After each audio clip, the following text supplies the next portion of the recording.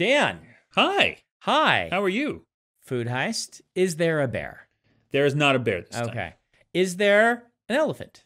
There's not an elephant either. All right. Is there any sort of creature that is not human?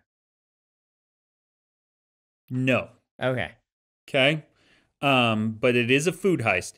It is arguably the sloppiest, most slipshod, poorly executed food heist we have ever Oh. covered. Well, that's interesting. And that's saying a lot because we once talked about three guys in a dog costume that crashed a truck through a liquor store. yep.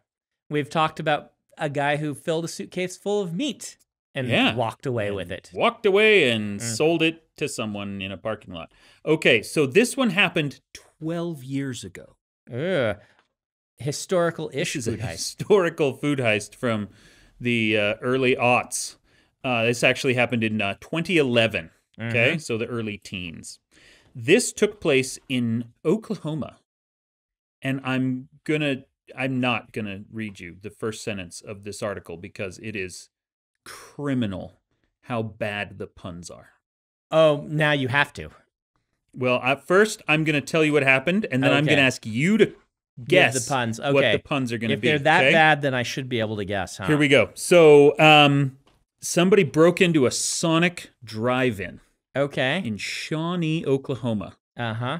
and when the police got there, the dude was still inside, and then he ran, Okay. and the police were able to follow him really easily because he left a long trail of hot dogs and corn dogs on the ground behind him as he ran. Okay. Uh yeah. And when they when they found him, he was uh his hands were bleeding from having jumped out of the broken window and uh there was broken glass like in his shoes, embedded in the soles of his shoes. All right. So, So- the question is, which genre of pun are, are they? Sonic the Hedgehog puns or are they hot dog puns? They're hot dog puns. Hot dog puns. Okay.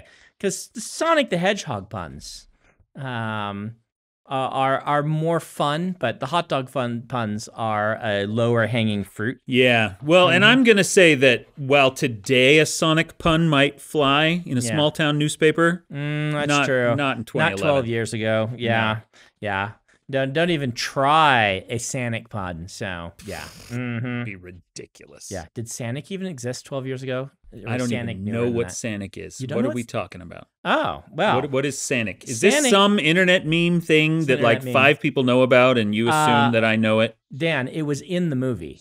I haven't seen the Sonic movies. It's big enough that my kids all, when we said we're going to Sonic, they're like, I hope Sanic is in it. That's insane. Because Okay. Sanic is someone drawing Sonic poorly on the internet and spelling Sonic wrong. There's Sanic. Oh, okay. I wow.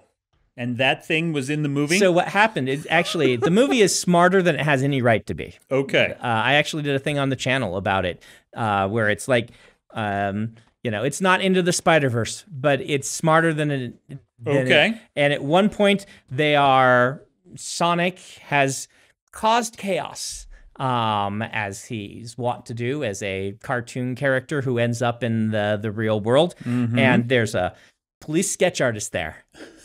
And they're like, "What do you look like?" And then they hold up, "Is this him?" they're like, "Yeah." And it's and it's Sanic. Yeah. Okay. So, well um, then. a nice little way to get a nod to to Sanic in there. But hot dog puns, hot dog puns. Yeah. Um, so dogged pursuit, eh? Oh, Eh? that's Dogged pretty good. That, that's not what they did. No, okay. Is it? It's worse than that, or better? They they managed to put three puns into Uh-huh. one sentence. Did they use? Only one of them is good. Did they use like hot dog like as an exclamation? Because that would be the dumbest. Uh, no, Okay, good. Okay. Um. So. but they do start with "to be frank." oh, Frank. Yeah. Okay, that's a good one. Yeah. I'm. I'm. And that's the that's, that's the good, one, of the three. Okay, that's a thumbs. To be up. frank, police didn't need a dog to follow this hot trail. Okay, those are both terrible. I I warned you. Those are those those barely even count. Like, I even I as wasn't even gonna read them, and then Mhm. you told me that I had to. But there is one good. To be frank, is a to be frank, is pretty good. yeah. Uh, and here's how you know that they knew their puns were terrible. Mm-hmm. I scrolled up to see the byline of the article so that I could credit Mm-hmm. them personally, and it just says by Crimesider staff. Nobody wanted to put their name on that opening line. Is it called? It's it's called a Tom Swifty when you do the pun in the dialogue and then you uh, do a credit to the the tag. Yeah, a Tom Swifty is yeah. When the dialogue tag is part of the pun. Did you know there's an entire category of Magic the Gathering Tom Swifties? I did not know that. See, because so many of the uh, so many of the cards are verbs. Okay. you can do all kinds of Tom Swifties. And so there's a famous card card named Shock, which is deals two damage. Mm-hmm. Uh, and you can you can have I can't believe you did two damage to me, Tom said, shocked. That's so bad. It's great. There there's a whole one once Reddit went Oh my off on it and they had some great ones. So It pains me that those exist, but Mm. I'm sure I would be delighted to read them. Well, um, I'm going to go ahead and agree with you. This is pretty sloppy. If you're losing hot dogs Yeah. as you as, As you, you run, away, leaving a trail for the cops to follow you, Mm-hmm. you uh, yeah, Yeah. you are an embarrassment. Like, they, how many hot dogs do you even have left? he he obviously he or she was not led into food heist prison. No. Not not. Thrown in Gen Pop with the rest of the normals. Yep. Yep. Yeah, this is just shoddy workmanship all around. So let that be a lesson to all of our listeners that if you're going to commit a food heist, do it right. For legal purposes, that was a joke. You ready for our brackets? Yes. Final four, our second voting. We don't know yet who has won the first. Time of recording, we don't know who won the first brackets, but now we have our second. So we have confirmed with our food heist and bad story idea experts and Mm-hmm. accountants. Uh, we went went all the way to the uh, to, to we had a recount, and indeed, uh, Vikings versus Cthulhu did beat beat Freefall Burrito World. So yes. uh, on recount, Freefall Burrito World is out.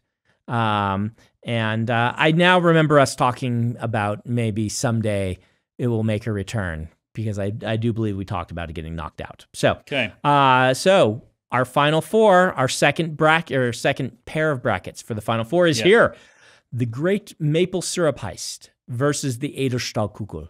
are number three and number two seeds battling it out. That's insane. The Great Maple Syrup Heist is the story that made me a fan of food heists to Mm-hmm. begin with. and it's 3.4 million liters of syrup. this is this a is big deal. Yeah. Mm-hmm. It was huge. They're actually making a movie out. of it. I don't know if they still are because Yeah. Mm-hmm. Hollywood is weird.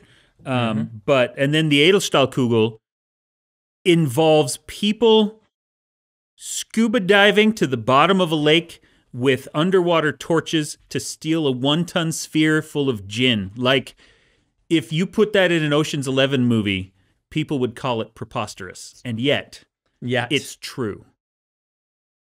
and then on the other side we have Vikings versus Cthulhu.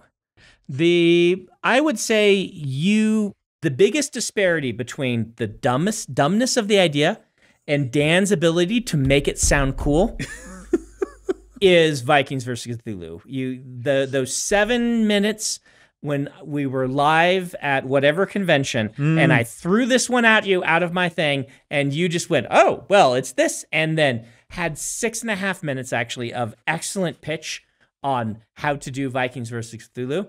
I'm not surprised it's doing doing well. It would make well. a good shirt. And you really, really knocked that one out of the park. Well, thank you very much. Mm-hmm. Uh, it is the most metal of all our ideas. Yep. That could have a killer shirt. So, um, so Vikings versus Cthulhu is taking on Weekend at Vader's with an actual zombie. Weekend at Vader's with an actual zombie. Uh, immediately prior to recording this Mm-hmm. episode, we had a long conversation about if that one wins, can we actually do it? And the shirt won't be very cool, but we can do it. We can do it. We just have to not infringe upon uh, Yeah. the trademarks of a certain corporation that owns. And so it's a harder, it's a harder. It's a, it's a crack. harder one to do. Mhm. We can make it work, but there you go. Yep. So uh, there you are. Those are your voting brackets to get us to our final two. What do they call the final two? Uh, the finals. Yeah, but this one, they're all alliterative. Sweet 16, Oh, Elite 8, top two? Final 4. Top two? Is it top two? Hey, that No, it's just the championship game. It's like Yeah, they don't have a different name. For I am that. sure because the somewhere they have that. nerds are as hardcore as the fantasy nerds, Okay. and they had just like we talked last week how there's a name for every bit character in Star Wars, so they could make Yeah. it. They they have There's a a name, name for this. other than finals. yeah it's for the last I bet two it's top two, but it's probably top two. I, I don't think so. The two No? totalitarian just the two. championship. Mm. I'm disappointed in you, The- sports nerds. Dynamic dos. Los dos dinámicos. Ooh, that's not bad. Yeah, Not bad. that's only for football though. That doesn't count. For, Oh. for any other Oh, sport. you mean football? Football. Yes. Mm-hmm. Did you know? Did we talk about this? I think we did. Football, soccer. The, everyone makes fun of us for soccer, but it's the Brits who came up with the term soccer, and they called it that Mm-hmm. until we started calling it that. Then they changed to make us look stupid. Actually, the entire history of British accents are rich people talking weird until poor people start mimicking them and then they change. Like that's where everything comes from. Uh, speaking of, of football, Mm-hmm. the opening game of the next World Cup Mm-hmm. is going to be in Mexico City. Okay. And I have already You're going? planned it out. I'm going to go. Uh, I just need to figure out how I can somehow make intentionally blank pay for it. This is this is this is your mo for Like everything. if I promise to steal a taco while I'm down there. Dan's gonna make us content for the channel.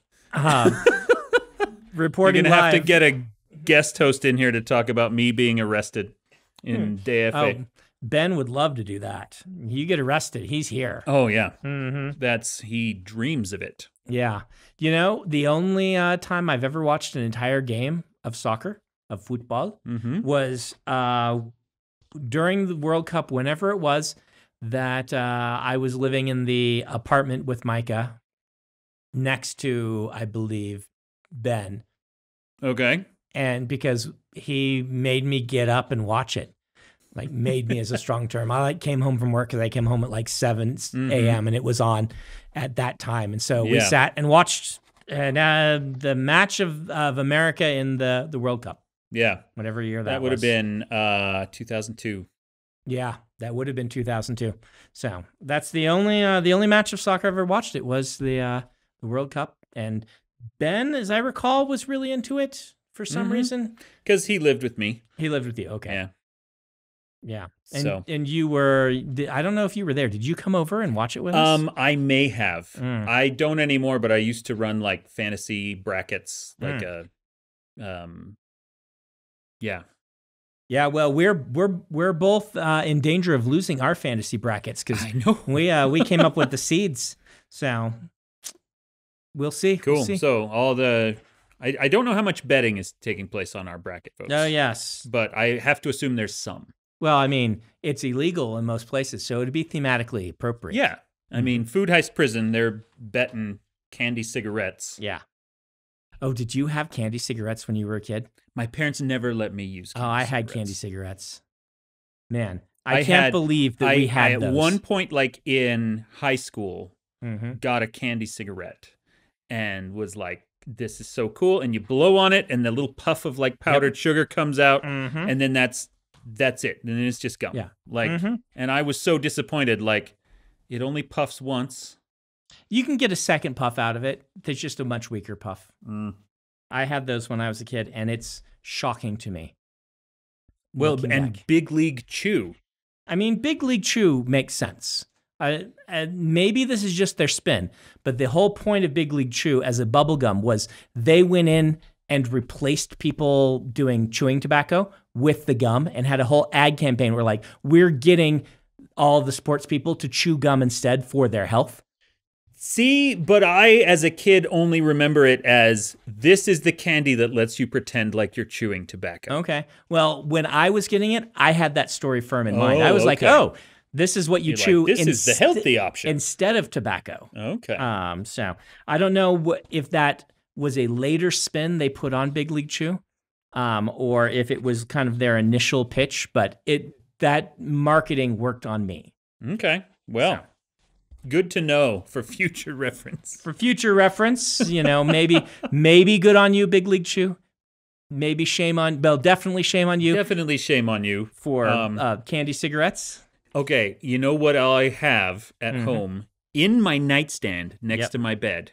Candy crack pipe. I, what no, else? I have a little teenth of uh, blue rock candy uh huh. from Albuquerque that looks like the blue crystal meth from Oh, Breaking Bad. y- that's really where you went. Yeah, Yeah, I was have it at joking. home. It's for real. I have it. It's awesome. and I have never eaten it. I just keep it. And one time, because I have the Candy crystal the- meth. I can't believe that the most outrageous thing I could think of as a joke.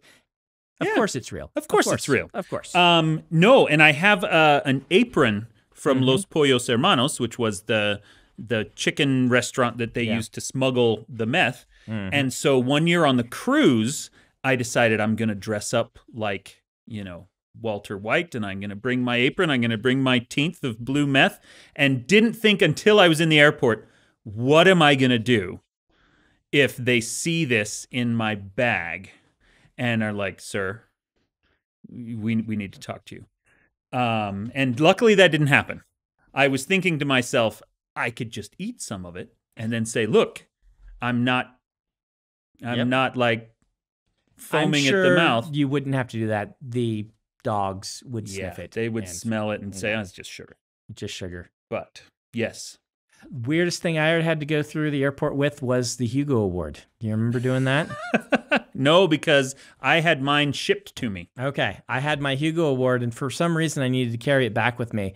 Um, uh, maybe it was flying. Anyway, and it looks kind of like a bomb, Mhm. and it's a giant metal trophy that looks like it's a rocket ship, but it's also a bomb. And I'm like, um, are they going to give me troubles about this? They didn't. They're just like, whatever. So, have you ever flown with a whole ton of magic cards? yeah, oh yeah. And Every do they time. pull you out for those? Every time. Every time. Stacks of cards look like very suspicious packages Yep. when they show up on their little color code X-ray thing. Yep. I've learned I have to uh, be ready to pull out the magic cards every time. Yeah. When Mm-hmm. I lived in Germany, um, I had the um, the one of the Lord of the Rings trading card games. Okay, was a yeah. really fantastic solo game. Mhm. And so when I would go on book tours and be gone for like a week or two weeks, I would take that with me so that I could play games in the hotel room. Yeah. And uh, every single time I would get stopped, and they're like, "Sir, what's this very suspicious looking package?" And I'd pull it out and say, "Look, it is 400 Lord of the Rings cards. Are you a fan?" But You mentioned the the chicken restaurant, and for some reason, my mind went to uh, Casa Bonita because it just reopened, or it's reopening soon. is it? Yeah, the uh, the South Park guys bought it. You hear about this? I did hear about Yeah. that. Mm-hmm. Uh, that it went out of business and Yep. they bought it because they loved it so much. Yes. Did Did you ever go there? Uh, I've never been to Casa Bonita. I Okay. have been to the Mayan, The knockoff, which is the Utah knockoff of it. Mm-hmm. Um, and I was not impressed. Well, that's the- But the Mayan is where my sister met her husband. is the Mayan still open? I don't know. Nah. Like if they were gonna do a Casa Bonita knockoff, I don't know why they would also knock off the terrible food. because I went to the Casa Bonita and you're like, oh wow, this food is mediocre. And then I went Mhm. to the Mayan. I'm like, wow, they made it worse, Yeah. right? By having a knockoff, it's the the photocopy. Like, couldn't you have made the food actually good? Yeah. And and I'm going to say Mhm. because I know there's people out there right now saying, "Well, of course you're not going to get good Mexican food in Utah." Yes, Oh yeah. moron. I will stack our Mexican food against almost anybody's. Okay, at least north of the border. Yep. Um, We have pretty good Mexican. we do. Every time I go to New York, there's this restaurant. They're like, "Oh, we got to take you to this restaurant," and it's a Mexican restaurant. And I'm always like, "Guys, this is not very good. N- It's the only meal I've had in New York that is not very It's good, not very good. and yeah, it's like a I- high-end Mexican place. The, the I'm only sure time I have yeah. ever ordered and enjoyed Mexican food east of the Mississippi Mhm. was um, there's a taco truck in um, Pensacola Okay. that's amazing. It's like one of the top 10 taco places in the country, allegedly. And I went to try it out, and yeah, it, It's it's good. really good. Um, but speaking of me living in Germany, the worst meal I've ever had in my entire life Yeah. was at a Mexican restaurant in downtown Stuttgart. Okay. That sounds Which that is- tracks. Yeah. Very much the Mm-hmm. kind of thing where, like, someone described a burrito to the chef once, and he's like, I bet I could reproduce that. It was abominable. It was illegal to have food that bad. So worst food I've ever had. Okay. Um, we're at twenty minutes. 21 minutes. We- maybe we're just gonna haven't talk even about worst. told you what our topic is yet. maybe we maybe we'll just go on this. So, um, I have a runner-up, Okay. a disqualification. a disqualification for worst meal you've ever eaten. Yes, um, because I didn't eat the meal Okay. because this was okay. in Spain, uh, which usually has pretty good food. Yeah. It's in Asturias, Mhm. uh, at where Celsius, the convention is. Yeah. And I was there with Tim Powers, uh, who's a super nice guy. Mhm. Uh, we went out to dinner together. Um, and we both ordered the same thing. It was basically um, a, a chicken cutlet, like, what do you call that? The German version. It oh, was uh, it's a schnitzel. a schnitzel, but it wasn't a schnitzel. It was thicker and Okay. but I think they may even call have called it a schnitzel. milanesa? Was it called Maybe a milanesa? Because that's what it would be in Mexico. It would be in Mexico. It would be probably, but either way, we, Okay. we order these things, right? We're like, oh, you know, that sounds good. We get them. Tim cuts into his, and it's raw in the center.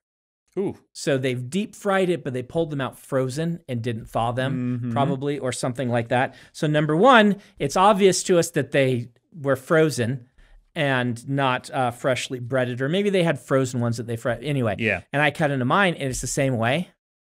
We just uh, we just left. Yeah. Uh, We just could not eat there. Now we didn't we didn't even ditch on them because we were given little tickets to pay for the meals. We left the little tickets because we were there at the convention, so Yeah. they they got their money. But that's a disqualification, right? You, you see raw chicken Yeah.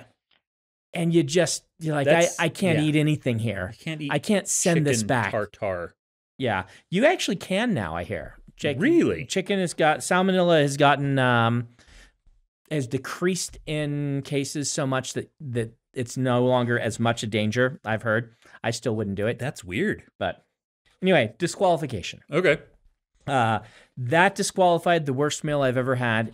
Dave Wolverton, Mm-hmm. uh, may he rest in peace. Uh, one of our mentors uh, took me on tour with him early in my career, and uh, I actually he pitched it, and then I organized it because we don't didn't trust New York to organize it, and we had all these stops around, whatever. So we drove it. Mhm. Utah, do a loop up the the west coast down through uh, Idaho back into Utah, and at a restaurant, just you know, we need food. We stop on the side of the road in little town where you gas up, and they have a diner there. And we're like, oh, little home cooked hometown meal, tiny little town. This is probably going to be good. Yeah. It was awful. It was, it was, we deep fry everything. You, ordered Mhm. eggs. We're just going to deep fry the scrambled eggs for some reason. Obviously, they weren't actually, but there was enough oil in the Yeah. pan to basically act like that. It was just everything we ordered was terrible. Mm. And it started, it's, it's when it clicked to me that I don't think that hometown, small town food thing is a real thing because the meals I've had in big cities are so much better. Because, and it makes sense, the competition to keep a restaurant open, you Mhm. have to be good, or there has to be some ex- external force, like you're in just the perfect location. But uh, ever since then, I paid attention. The meals in small towns actually tend to be pretty bad. The meals in big cities tend to be pretty good. They're obviously Yeah. in every small town. You might be thinking, "Yeah, I live in a small town. We've got a. Uh, I know where the good food is. There is good food. There's good food Certainly there is. uh, yeah. all over the place. And But it's often not the place you're going to expect. yeah, Uh, I've found that if I am in a small town like that and I order a burger, yeah, I'm usually going to get something that's really good, yeah. whereas anything else might be awful. Little burger joints do tend to to do better, don't they? Mm-hmm. But Okay, so you want to hear about my second worst meal ever? second worst meal, yeah. This was in London, Hmm. which sounds unfair, right? Because everyone makes fun of British food. I actually really like British food. Yeah. Um, I've actually there's been some delicious stuff that I've never had a bad meal in London. well, I have. Mm, I want to hear about it. I went there with my family. This is again when Mhm. we lived in Germany.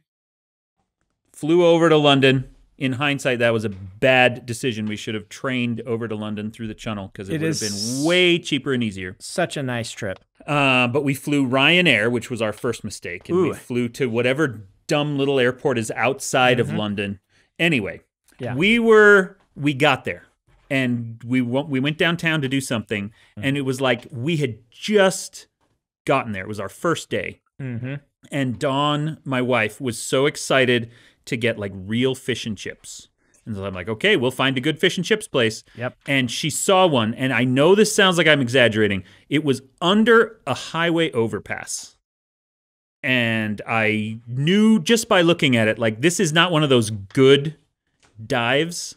I love eating in dives. This was Mhm. not one of those good dives. Yeah. And I'm like, no, we shouldn't go there. And she said, it says fish and chips right on the sign. I'm like, it's not going to be good. Yeah. And we went in, and Oh, it was, um, it was like all of the food, like you said about the chicken in Spain, was obviously just dumped out of a frozen bag and warmed up.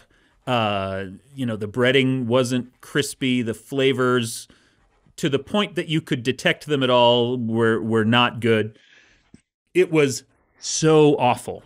And she's like, "No, this is this is everyone makes fun of British food. We're having an authentic British food experience." I'm like, "No, please trust me." And then later in the week we found a real fish and chips place and ate there and her jaw just fell open and she's like, "Okay, I I get it now." You know, um, the best two meals I've ever had were both in New York. Okay. Now, I've eaten uh, quite a number of meals in Paris and in London, and I will say I had fantastic food both places. Mhm.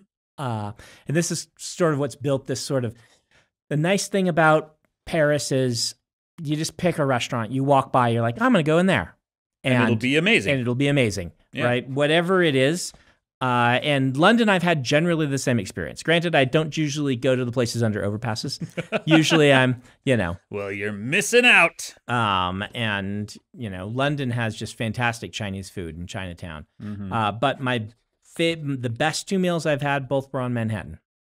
yeah. Uh, one was at the Lincoln Center restaurant, which was an Italian upscale Italian restaurant, uh, and there was just something about that meal in particular that was just full of all these different flavors. And then the second one was actually uh, Korean barbecue. oh, Um, I was with you for yeah. that meal. Mm, That's that's entered your top. that's entered my Two, top. I think that's my my second favorite meal of all time because I love Korean food. Mm-hmm. Um, and this is the best Korean barbecue I've ever had. And so if you like combine those two things, then like Yeah. It was really good. Um, I remember sitting there Mhm. and watching the realization on your face when you're like, this food is too good because now I'm not going to enjoy any other Korean barbecue I go to Yep. unless it's this. Yep. It ruined all the other places for you. It was quite amazing. And I love Korean food. Yeah. So It was a good place. I can't remember the name of it. uh, yeah, I'd in have to look it up. Uh, in it- Manhattan. It's, it's a celebrity uh, actor who started the, the they have one in Seoul and they have one in Oh, New York. That's and cool. there's like pictures of him uh, pretending to be in fa- famous movie posters, even though he didn't star in those movies, all Mhm. over the walls. So I'm sure I could find it again. It was like um, I want to say the problem is his name sounded like the name of a district in Korea, and I can't remember which district it is. So I want to call him Kongnam, but it's he's not Kongnam because Kongnam is Okay. one of you know Gangnam Style is Oh, one of yeah. the famous districts of Seoul. His name sounded like a district of Seoul, but then it actually it didn't wasn't. sound like that style. Yeah. Okay. hmm It wasn't Kongnam, but it was something like that. So, Okay. so there we are. Those are my. What are your two fa- favorite meals? My two favorite meals. Yeah. Uh, one of them actually was in Paris. Okay. Probably the best meal I've ever eaten. Mhm. Uh, my publicist in France took me to just some place, and you know, like you said, it's just Mm-hmm. Yeah. some place. Yeah. Uh, it's not a place I would ever be able to find again. Yes. and I just got duck and potatoes and some other stuff and was transported to another realm of deliciousness. It was just uh, duck's one of my favorite foods anyway. Okay. It was it was awesome. Best soup I've ever had was random place we walked in at Paris. We're eating and we're like, what do you recommend? He's like, ah, the soup's pretty good. And so we're like, all right, we'll both get the soup to start. And it was this like bean lentil soup, which doesn't sound like it should be good. It was amazing. Just the flavors and things. And like the yeah, the soup's pretty good. good recommendation. Uh, best soup I've ever had in my entire life is pretty good. Yeah. The uh, the other best meal, were I to pick one, Mm-hmm. uh, would actually be Mexico. Uh, when I lived there on my mission, Mm-hmm. um, there was a lady that made uh, food for us every day, and we would Uh-huh. pay her like a monthly stipend to to feed us, and she loved doing it. And she found out she she fed another companionship as well. So there were Mhm. four of us that would meet every day at her house to eat, because the big meal in Mexico is lunch rather than dinner. So we would eat our big thing for lunch, and she found out that three of the four of us were huge fans of chiles rellenos, which is Uh-huh. probably my favorite food Okay. in the world, were I to pick one. Um, and so she would just make the most incredible chiles rellenos and huge piles of them. And at one point, and you got to remember, we we were on a religious mission, right? And at one point, my companion, uh, Elder Gonzalez, he he was eating this and he stopped and he closed his eyes and he said, "If I were an idolater, I would make a god of the chile relleno." And I remember his exact tone of voice. Si yo fuera idólatro, haría un dios del chile relleno. And uh, yeah, they were that good. That's how good they were, Okay. is that they caused this man to question his faith. I don't know that I've ever had a meal that made me, uh, yeah. Um, most disappointing because Most I, disappointing meal? yeah, I can, I can. Why I thought of this is Okay. so I, um, when I was a teenager, there was that time where Vegas decided to momentarily clean up his image. Yeah, for like four years. for like four years, they're like, oh, maybe we shouldn't be Sin City. Maybe we can be like a Disney World and be family friendly. And that marketing reached my parents, and my dad's like, hey, let's go to Vegas. And we saw um, Blue Man Group and O. Um, Oh, the cool. Cirque du Soleil. They're both just fantastic. Uh, wonderful experiences. Um, I didn't feel Vegas was very cleaned up uh, being there. I think it maybe it was just branding. Um, did not seem uh, particularly cleaned up. But um, when I was um, that my father took us to the Cheesecake Factory. Before the Cheesecake Factory, like it, it had multiple Before locations. it metastasized across the whole country. Yes. And um and I remember like this was kind of a bit like I'm a teenager. I can't afford nice food. This isn't nice food. It's Cheesecake Factory, but it was pretty good. Mm. And I'm like, wow, the Cheesecake Factory is a good restaurant. This is this is a good place to eat, right? Yeah. uh, and it, it kind of cemented in my head like everything I had was just a little better than I expected it to be, and it was a good restaurant. mm-hmm. Uh, so props to that chef. Years later, it's maybe maybe you know what years later, I am uh, now a published author, and um, I'm with uh, going on tour Mm-hmm. and I'm doing a bunch of signings. And uh, someone asked me, this is- I'm with Joshua, and he's like, "Where where do you want to go to eat?" It's been an exhausting day. I'm like, I, we walked past the Cheesecake Factory, and Joshua's a New Yorker, and you could see the little code going through his brain where he's like, Midwesterner doesn't understand food. I have to eat at the Cheesecake Factory. Well, crap. Um, right? But he he's like, all right, we'll go to the Cheesecake Factory. And I'm like, ah, I remember this being so good. It was it's not like terrible, right? Mm-hmm. It's not like um It wasn't awful food, but it didn't live it up to your wasn't memories of it. Applebee's, but it was Chili's. right? Does that make Um, sense? This Cheesecake Factory is worse than Applebee's is one of the meanest things to No, no, no. say. No, no, no. It wa- also being like, No, no. Applebee's is the bottom barrel. It wasn't as bad as Applebee's. it wasn't as bad as Applebee's. is just like, don't feed me Applebee's. Like, yeah. I will go hungry. Chili's is if if it's midnight and there's nowhere else to go. Uh, Chili's will usually give you good Chili's, fried chicken, if yeah, nothing else. You can get a nice burger at Chili's, uh, right? It's Mhm. like, uh, so that's what I mean. It wasn't Applebee's. It wasn't that bad, Okay, okay. but it was Chili's, right? Does that make sense? Yeah. Right. Mhm. Like it was. Um. It was. You remember that episode of The Simpsons? Yeah. Where he tries to turn Moe's bar into a family restaurant? Mm-hmm. and his he makes a TV commercial and the slogan is so if you like good food and a bunch of crazy crap all over the walls come on down to Moe's Family Feedbag Yeah. and that's what I think of every time I go to any of those kinds of restaurants Yeah. uh, it's just like you're trying so hard to be weird and the food is just Denny's TGI dressed Fridays. up Yeah. Yep. I will say that uh, runner up is uh, eating at uh, Planet Hollywood, mm. right? I've eaten at one I've eaten at a Hard Rock once Mm-hmm. Yeah. and I was like this is I don't know why these are everywhere Yeah. Uh, and I think Planet Hollywood was slightly worse. Like Hard Rock, I remember being a little bit better.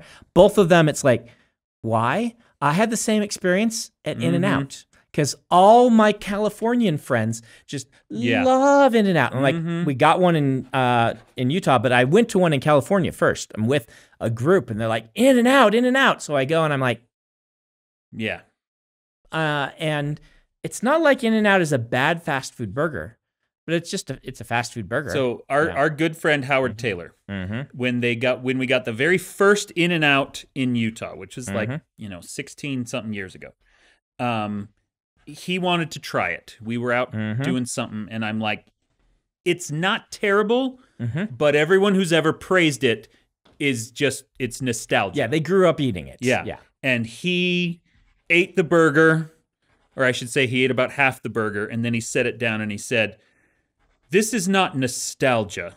This is Stockholm syndrome." It's a good Howard line. Thing is, I can empathize with that because there's a burger chain in Nebraska called Runza mm-hmm. that I absolutely love.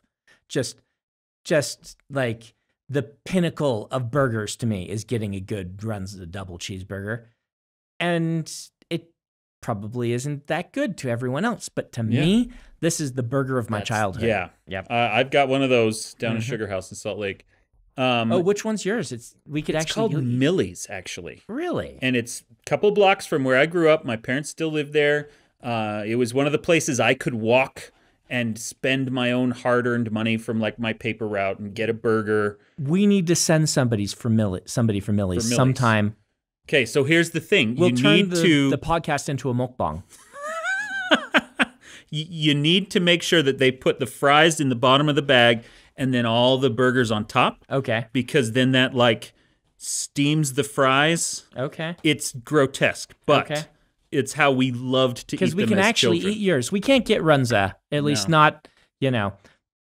Runza has Mhm. this weird thing. They also sell, which I don't like as much, but they still taste like my childhood. They sell Eastern European meat buns with lots of cabbage. Oh, like a and- kolache? yeah, Yeah. hmm Uh, as like a fast food, like you know. That's a very Midwestern thing. Yeah.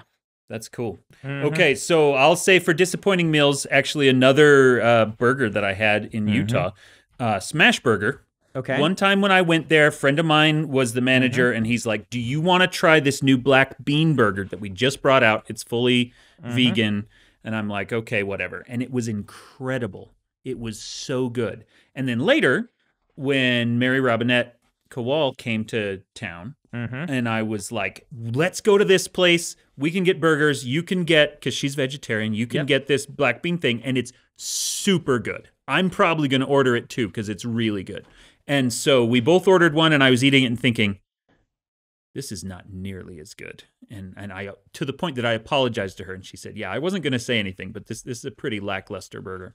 And so I asked the whoever was running the mm-hmm. store, and they had apparently changed their recipe And the really good black bean burger at Smash Burger is no longer whatever it was. It's now some other thing. Do you have a meal that you can't get anymore that you crave? Yes. Is it like made by a grandma or something, or what is it? Um, no, it's ac- I I I am separated Mhm. by the Atlantic Ocean from this meal. Okay. Um, in Germany, the Chinese restaurants. So you know, American Chinese food is not remotely like authentic to what they eat in China, right? At least not the stuff that I typically get. Yeah, I mean, I've eaten in China. You can get Yeah. some of it there. I Mhm. mean, just but American Chinese food is its own genre. Yeah, it has its very own distinctive thing. Yeah, German Chinese food Yeah. is its own thing, and it's very distinct and it's very different. Korean Chinese food is as well, and I miss Korean Chinese Yeah. food. Um, pretty much every train station, every mall Mhm. has a little fast food Chinese place where you can get uh, noodles Mhm. with crispy duck and what they call curry sauce, which is this uh, just kind of vaguely spicy white sauce that I have no idea if it has any actual curry in it or what flavors it is, Right. but it's what is standardly just known as curry soza. Mhm. And that is that's my favorite thing. Hmm. Uh, when I got to go back to Germany several years after moving away, uh, that was the first thing I looked for. Before I went for the Döner kebabs, before I went for the schnitzel, I had to find my grungy little train station Chinese food, Knusprige Ente mit Currysoße. And oh, I love it so much. It's one of the best things in the world. when I was a kid, we went to this restaurant that uh, was at the local mall, just a corner, kind of mid to upscale, not a chain uh, restaurant. And they had a baked mac and cheese that came in your own little Mm-hmm. cup and kind of child sized. That to this day, that flavor like represents fine dining to me. uh, and the restaurant's closed, right? They Mhm. closed many years ago, and so I can never get that mac and cheese ever again, and it probably wouldn't taste as good to me now. Uh, but it's gone. It's mythological. It's uh, Yeah. That lost flavor from childhood. mhm. Alas. How's that, Ben?